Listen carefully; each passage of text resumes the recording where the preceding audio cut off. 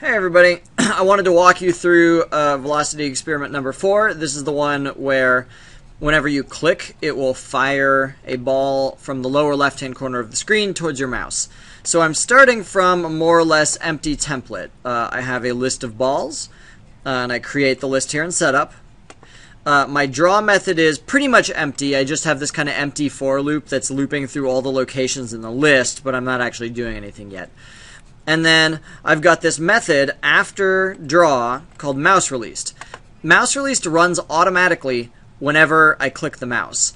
So because I want to create new ball objects whenever I click the mouse, um, this is where I want to start.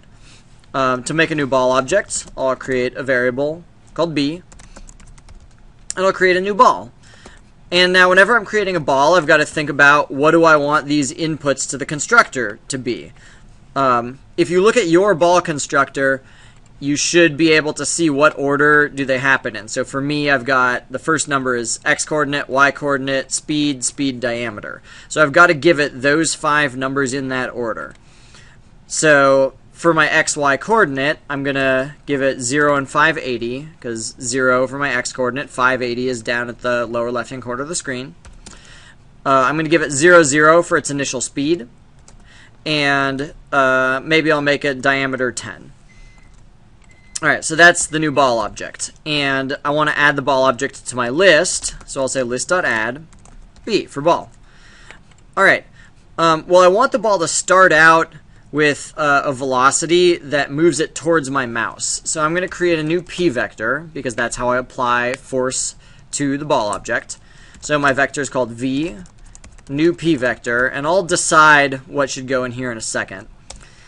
Um, I know in order to apply the force to the ball object, I need to tell the ball object to add the force, and v is the name of my force vector.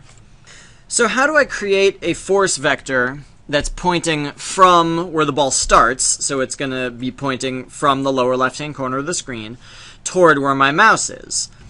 Um, well, I need to get that difference in the x coordinates between where the ball is in my mouse and the difference in the y coordinates. So my mouse is at mouse x, so the difference in x coordinates is going to be mouse x minus 0, because that's the x coordinate where I'm starting the ball. And the difference in the y coordinates is going to be mouse y minus 580. It's a little silly to say minus 0, so we could just take that part out. Alright, so now I've got a, a, force vector that's pointing in the direction that I want the ball to be moving. Um, but the vector is way too strong. Its length is really long, and so I need it to be a lot shorter. So what I'm going to do is I'm going to use a new method that I haven't told you about yet. It's called mult.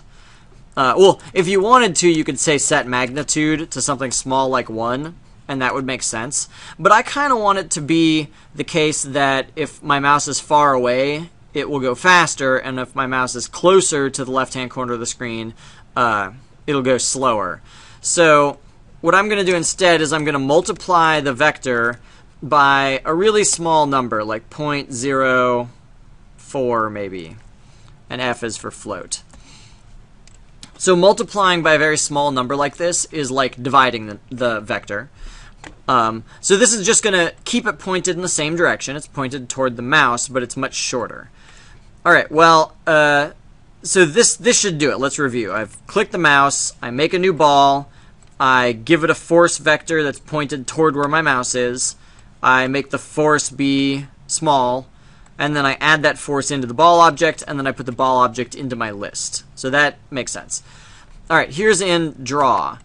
So in draw, I'm going to loop through all the locations in the list. The first thing I need to do is ask the list to get a ball.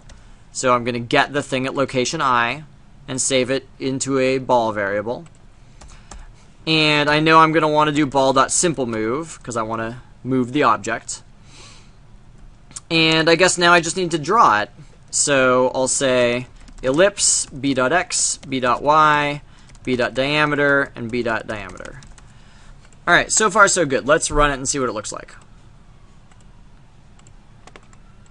So it looks like maybe it's definitely going toward my mouse. It seems like the initial velocity is still way too strong.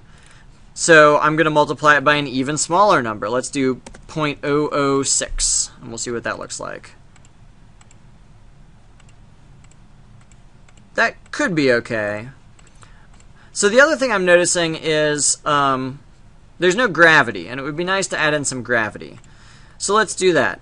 Um, I don't want to add a new uh, PVector down here that would pull it downwards because the code here only runs in the moment that I click the mouse.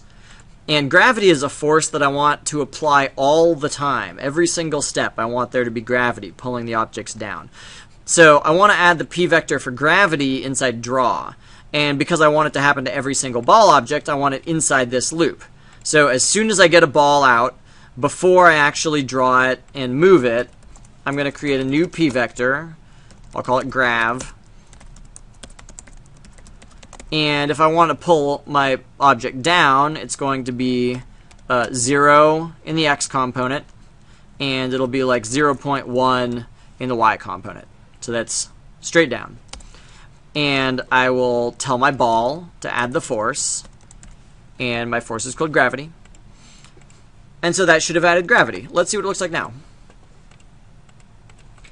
Okay, well, that seems to be working, but now it seems clear that uh, my initial velocity isn't fast enough. So I'm going to make this be 0.01 is what I'm going to divide it by, or multiply by. Mm, a little stronger, maybe. Let's do it 3? I think 2 is going to be the magic one. Or let's do 1, 5. Alright, that's seeming pretty good. Alright, so that's that's it. Um, we will be building on this starting on Monday to make a sort of a, a castle defense game, or at least the very beginning of a castle defense game. Enjoy!